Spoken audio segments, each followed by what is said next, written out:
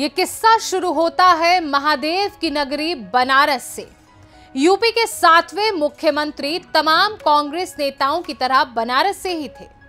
Congress party के कद्दावर नेताओं की लिस्ट में एक से एक नेता शामिल है, जिनकी देश भर में इज़्ज़त भी बहुत है।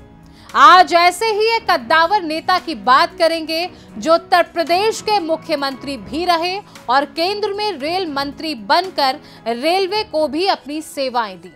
जी हाँ हम बात कर रहे हैं कमलापति त्रिपाठी की, जो अपनी तरह के एकमात्र नेता हुए, जिनको सकारात्मक रूप से याद करने की कई वजहें हैं। कमलापति त्रिपाठी राजनीति की एक ऐसी शख्सियत रहे, जिनसे जुड़े किस्से कुछ न कुछ सिखाते ही हैं। नमस्कार, मैं ज्योति श्रीवास्तव और आप देख रहे हैं सी न्यूज़ भारत में हमारी खास सीरीज़ किस्सा उत्तर प्रदेश के मुख्यमंत्रियों का। आज के इस एपिसोड में हम आपको बताएँगे यूपी के सातवें सीएम के बारे में, जो थे कमलापति त्रिपाठी। 3 सितंबर 1905 ये वही दिन है जब राजनीति को हॉबी और प्रोफेशन दोनों समझने वाले कमलापति त्रिपाठी का जन्म हुआ। काशी विद्यापीठ से पढ़ाई की, शास्त्री और डिलीट की उपलब्धियाँ प्राप्त की। अब यूपी में शासन करने से पहले उसे समझना भी ज़रूरी था। फिर क्या? अखबार आज में पत्रकार के तौर पर अपना करियर शुरू किया। हिंदी और संस्कृत दोनों भाषाओं के जानकार थे तो लिखते भी बढ़िया थे। उस दौर में गांधी जी ने ऐसा माहौल ही बना दिया था कि जेल जाना और पुलिस से मार खाना, चौपाटी घूमते हुए भेलपूरी खाने जैसा लगता था। फिर क्या? कमलापति भी आंदोलनों में पार्टिसिपेट करने लगे और जेल जाने लगे। महज 16 वर्ष की आयु में असहयोग आंदोलन के दौरान जेल गए। धीरे धीरे यूपी की राजनीति में बड़ा नाम बनने लगे। 1937 के चुनाव में विधानसभा में चुने गए। ये सिलसिला लंबे समय तक जारी रहा। फिर 1946, 1952, उन्नीस उन्नीस और उन्नीस सौ उनहत्तर में भी चुने गए राजनीति में प्रवेश के बाद कद इतना बड़ा कि आज़ादी के वक्त बनी संविधान सभा के भी सदस्य रहे। अब इतनी मेहनत कर रहे थे तो सबकी नज़र में छाप तो छोड़नी ही थी। फिर क्या?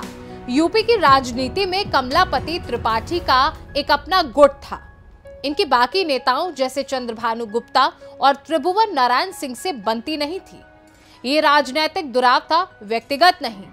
पर राजनीति चीज़ ही ऐसी होती है कि सबको कुछ ना कुछ करने पर बाध्य कर देती है। जैसे कि हमने आपको पहले बताया था कि किन हालातों में सुचिता कृपलानी को मुख्यमंत्री बना दिया गया था। अपना राजनीतिक करियर स्वतंत्रता आंदोलन से शुरू करने वाले कमलापति त्रिपाठी अंग्रेज़ों के खिलाफ अपनी आवाज़ बुलंद करने से कभी नहीं चूके। ये एक ऐसा दौर रहा जब लोग पंडित कमलापति त्रिपाठी को जानने लगे थे। कांग्रेस पार्टी के भीतर सबसे चर्चित चेहरों में पहला नाम कमलापति त्रिपाठी का ही आने लगा था। 4 अप्रैल 1971 को देश के सबसे बड़े राज्य उत्तर प्रदेश की कमान पंडित कमलापति त्रिपाठी को दी गई, यानी उन्हें सूबे का मुख्यमंत्री बनाया गया। उनका ये कार्यकाल लगभग दो साल उनहत्तर दिन का रहा।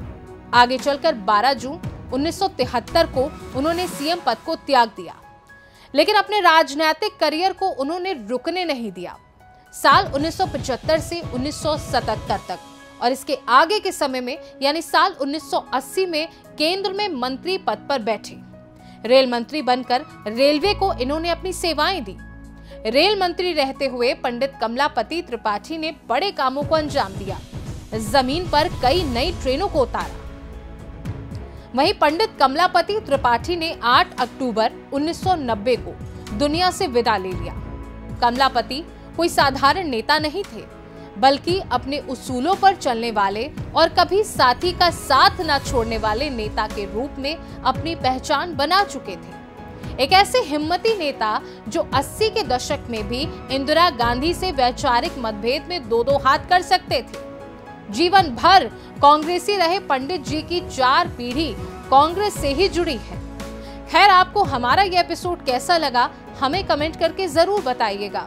हम फिर हाजिर होंगे यूपी के एक और नए मुख्यमंत्री की नई कहानी के साथ। तब तक मुझे दीजिए इजाज़त। नमस्कार।